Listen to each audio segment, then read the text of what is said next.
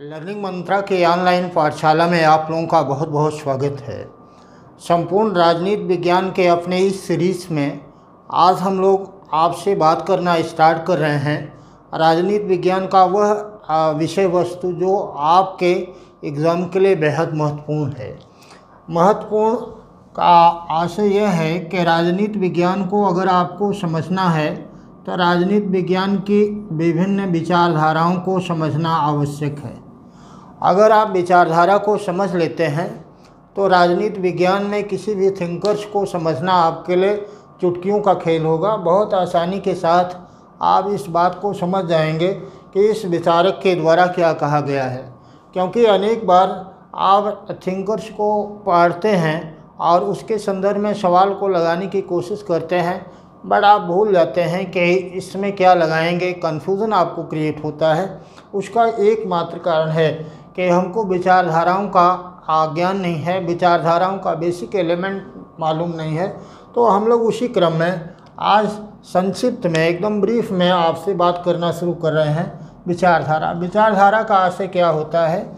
जिसके आधार पर किसी भी दार्शनिक के द्वारा अपनी बात को, अपने सिद्धांत का प्रतिपादन करते हैं, उसको विचारधारा कहते हैं।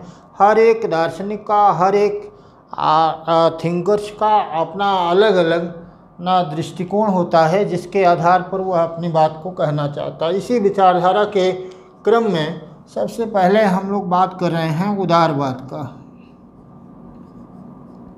उदारवाद का पिता है कौन? उदारवाद का पिता है जॉन लॉक। जॉन लॉक कहाँ के हैं? जॉन लॉक हैं इंग्लैंड के।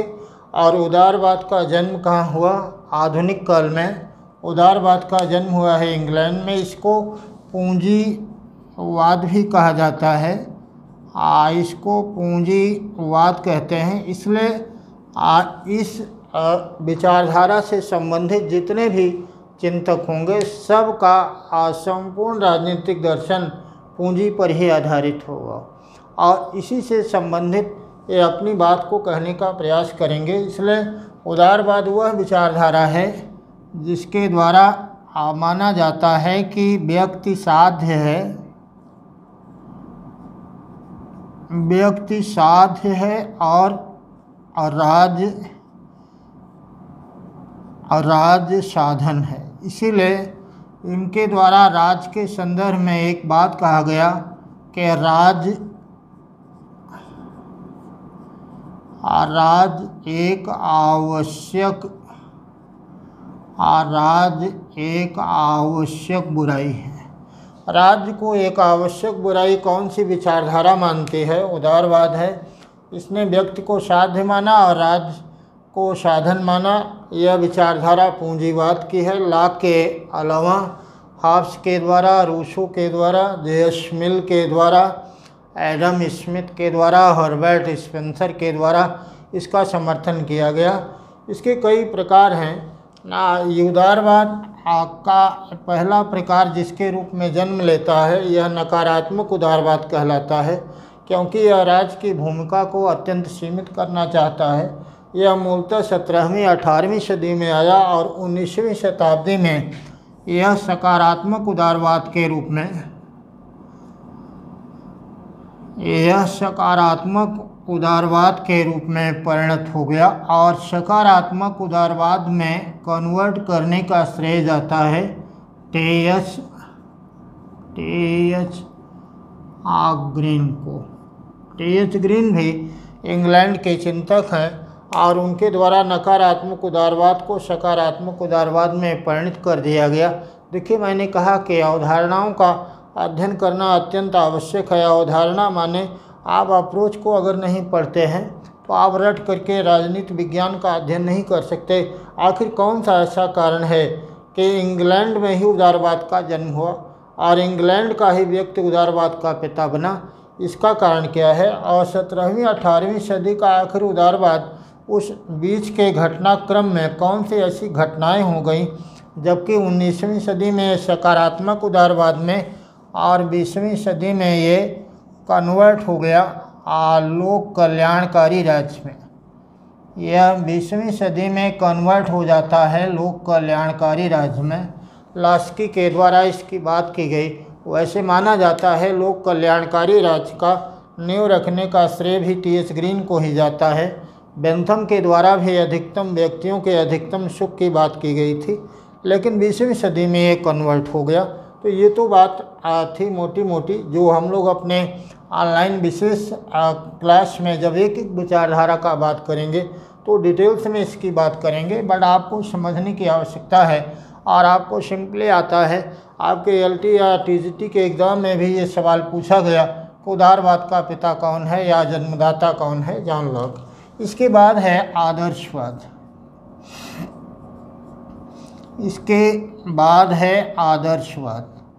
आदर्शवाद राजनीति विज्ञान की वह विचारधारा है, जो राज्य को साध्य मानता है और व्यक्ति को यह साधन मानता है। और आदर्शवादी विचारधारा के जन्मदाता हैं कौन? प्लेटो, इसका समर्थन अरस्तु के द्वारा किया गया। इंग्लैंड में टी एच ग्रीन के द्वारा ब्रेडली के द्वारा, बोशांके के द्वारा, जर्मनी में आफिकते के द्वारा, कांट के द्वारा और हीगल के द्वारा, हीगल को उग्र आदर्शवादी चिंतक कहा जाता है। देखिए, यहाँ पर एक बात आपको कन्फर्म हो गया होगा कि उदारवाद की की प्रतिक्रिया आदर्शवाद है। अगर उदारवाद को आपने समझ लिया, जितने बेसिक करेक्टर इसके होंगे, वे कोई बेसिक करेक्टर आदर्शवाद का नहीं होगा, इसके जस्ट अपोजिट होगा। अब दूसरा एक विचारधारा है जिसको कहा जाता है, जिसको कहा गया है समाजवाद। समाजवाद में दो है, एक काल्पनिक समाजवाद है और दूसरा एक है काल्पनिक समाजवाद और दूसरा है वैज्ञानिक समाजवाद। वैज्ञानिक समाजवाद को के जन्मदाता हैं कॉर्ल मार्क्स। इसके जन्मदाता हैं कॉर्ल मार्क्स, इसीलिए इसको मार्क्सवाद भी कहा जाता है। जबकि काल्पनिक समाजवाद के जन्मदाता और इसके प्रयोग करता है रॉबर्ट ओवन। रॉबर्ट ओवन ने समाजवाद का सर्वप्रथम प्रयोग किया। मार्क्सवाद या वैज्ञानिक समाजवाद राज्य को शोषण का या राज्य की आलोचना करता है राज्य को शोषण का एक यंत्र मानता है, जबकि इनके द्वारा राज्य को सकारात्मक सकारात्मक अच्छाई माना गया। इसके साथ साथ कई और भी समाजवाद के प्रकारों का विकास हुआ इन दोनों के बीच में, जिसको लोकतांत्रिक समाजवाद कहते हैं। लोकतांत्रिक समाजवाद के जन्मदाता कहा जाता है कि भारत में जेएल नेहरू हैं। इसका समर्थन जयप्रकाश नारायण और मानवेंद्र नाथ राय के भी द्वारा किया गया। इसके अलावा है राजनीतिक विचारधारा में फेबियनवाद फेबियनवाद का जन्म हुआ यह इंग्लैंड में और Sidney Webb Sidney Webb, Bernard Shaw Bernard Shaw तथा ओलिवर पैथिक लॉरेंस एवं अन्य लोगों ने इसका समर्थन किया। यह भी समाजवाद का एक प्रकार है जो धीरे धीरे परिवर्तन पर बल देता है। इंग्लैंड में ही समाजवाद का एक अन्य प्रकार जन्म लिया, जिसको श्रेणी समाजवाद कहा जाता है। गिल्ड या श्रेणी समाजवाद कहते हैं। आ गिल्ड या श्रेणी समाजवाद कहते हैं। श्रेणी समाजवाद के जन्मदाता हैं श्रेणी समाजवाद या गिल्ड समाजवाद के जन्मदाता हैं जी डी एच कोल।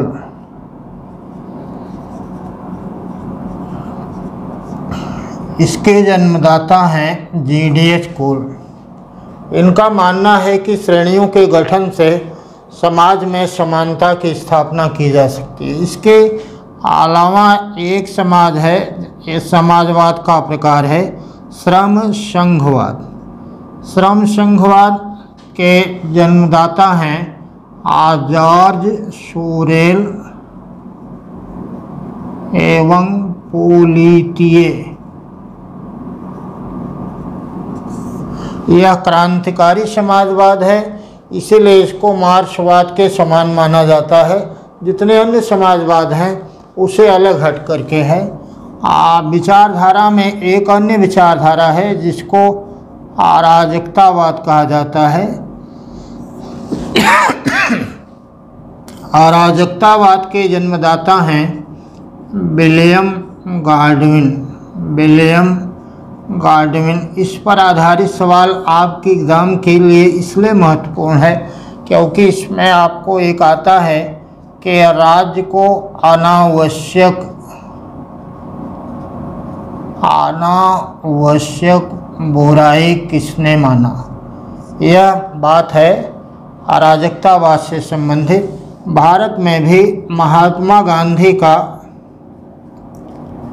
महात्मा गांधी का राजनीतिक चिंतन को दार्शनिक अराजकतावाद दार्शनिक अराजकतावाद के नाम से जाना जाता है। देखिए ये इस विचारधारा के साथ साथ एक अन्य विचारधारा है जिसको कहा जाता है बहुलवाद। यह संप्रभुता को विभाजित करने की बात करता है। ना यह संप्रभुता को विभाजित करने की बात करता है। इनका मानना है कि संप्रभुता केवल राज्य का ही तत्व नहीं है, बल्कि अन्य संस्थाएँ और अन्य संगठन भी संप्रभुता में सहभागी हैं और इस बहुलवादी विचारधारा के जन्मदाता हैं वान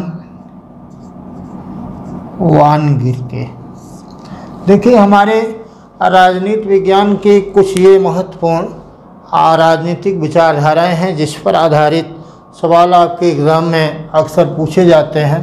खास करके आपसे इधर नज़दीक में पूछा जा रहा है कि आदर्शवाद का पिता कौन है? प्लेटो है, उदारवाद का पिता कौन है? लॉक है, अराजकतावाद का पिता कौन है? विलियम गार्डविन है, श्रेणी समाजवाद का पिता कौन है? जी डी एच कोल है, श्रम संघवाद का पिता कौन है? जॉर्ज सोरेला और पोलितिय है।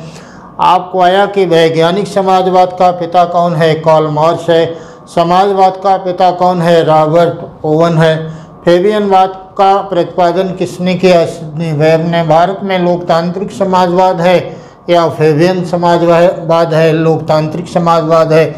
भारत में लोग जितने भी राजनीतिक चिंतक हैं या भारत के संविधान में किस समाजवाद का प्रभाव है? लोकतांत्रिक समाजवाद और फेबियन समाजवाद दोनों का है, क्योंकि हमारे नीति निर्देशक सिद्धांत पर पूर्णतया प्रभाव पड़ा है किसका?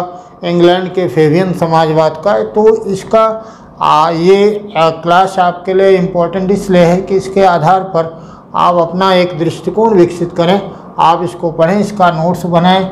हम लोग निरंतर अपने इसी क्लास इसी प्रकार से अपने क्लास को कंटिन्यू करते रहेंगे। आ, हमारा ये विचारधारा का क्लास आज का यहीं तक है। आप निरंतर देखते रहें। लर्निंग मंत्रा के ऑनलाइन पाठशाला को। जय हिंद जय भारत।